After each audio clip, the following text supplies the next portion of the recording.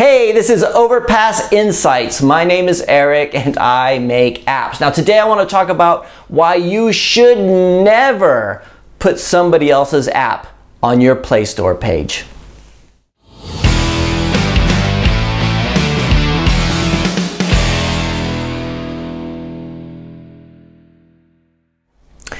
So every so often I'll get an email from somebody saying, hey Eric, can you please publish my app on your Play Store page or on your App Store page, right? And every single time I thought it's a weird request. Like, why would I want to publish your app on my store page? And I do, I'll, I'll ask them. And they, I get various reasons. Sometimes they'll say, uh, Google Play's not available in my country, or I have I've been suspended and they won't let me release another app, which is like, hmm. Or they, they'll say something like, because you have successful apps, my app being on your store page will look really good for my app and I'll get more downloads. And every single time they ask me that, my answer is always no.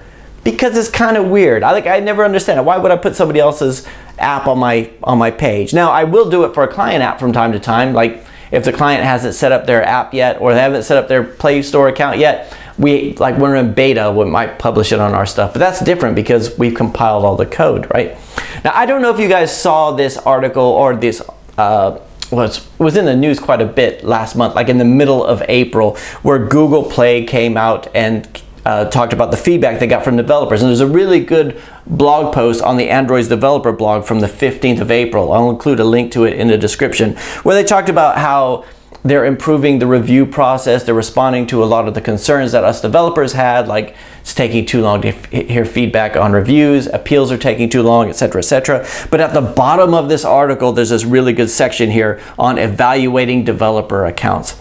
And it says, we also have concerns from developers whose accounts have been blocked from distributing apps through Google Play. While the vast majority of developers on Android are well-meaning, some accounts are suspended for serious repeated violations of policies that protect our shared users.